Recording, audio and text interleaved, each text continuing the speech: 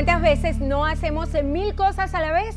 ¿Se han preguntado qué significa lo simple? Pues hoy nuestro motivador Felipe Aguirre nos trae la respuesta. Felipe, ¿cuáles serían las consecuencias de no ser uno mismo y fijarnos en cosas que no tienen que ver con nuestra propia personalidad o con nuestro crecimiento personal, mejor dicho?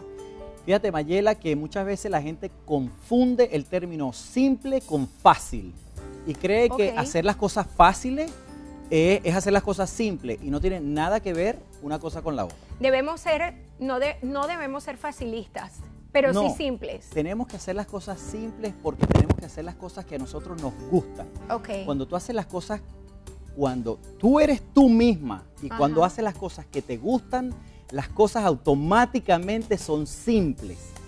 Para contestar tu pregunta, cuando tú no eres auténtico, cuando tú tratas de aparentar ser otra persona, cuando tú tratas de o, hacer cosas que no te corresponden, ¿qué es lo que vas a lograr? Es, para responder esa pregunta, por ejemplo, te vas a sentir atascado, sin salida, en, situaciones que te, te, vas a sentir realmente atrapado, te puedes sentir atado en situaciones, por ejemplo, muchos matrimonios, tú te casas con una persona por conveniencia o lo que sea, te sientes atascado, te sientes atrapado, es incómoda, problemas de dinero, muchas veces porque no estás llevando las cosas auténticamente hacia lo simple.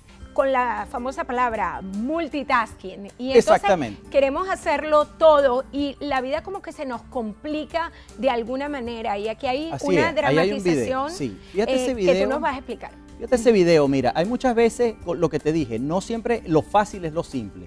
Esa persona lo que está haciendo ahí está tratando de resolver muchos problemas al mismo tiempo.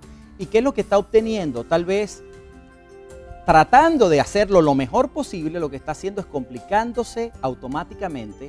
Tal vez porque ella no está desarrollando la tarea para la que ella estudió, para la que ella está preparada quiere aparentar ser otra persona, quiere tratar de hacer muchas cosas porque ella quiere tratar de rendir mucho o quiere tratar de aparentar delante de su jefe que ella es muy productiva o que ella hace muchas cosas. Y la verdad es que al no ser simple, al tratar de hacer muchas cosas al mismo tiempo, no está haciendo ninguna. Exactamente, pero ¿cuáles son las recomendaciones que nos das para poder simplificar esos procesos en nuestra vida y para seguir siendo auténticos? Te traje cinco, cinco consejos bien entretenidos, bien interesantes. El primero, muchacho, elimina las obligaciones innecesarias. Esas obligaciones que tenemos, que nos comprometemos con tantas cosas al mismo tiempo que en realidad al final, mira, no, no sirven de mucho. Elimínalas, trata de disminuirlas lo más posible. Segundo, regresa a la sencillez de la naturaleza. Tan linda la naturaleza, no te das cuenta, estás totalmente comprometido, olvídate. Tercero, saca tiempo para tu salud, despéjate, date cuenta de lo que tienes alrededor, acuérdate de ti misma. Cuarto, olvídate del valor efectivo.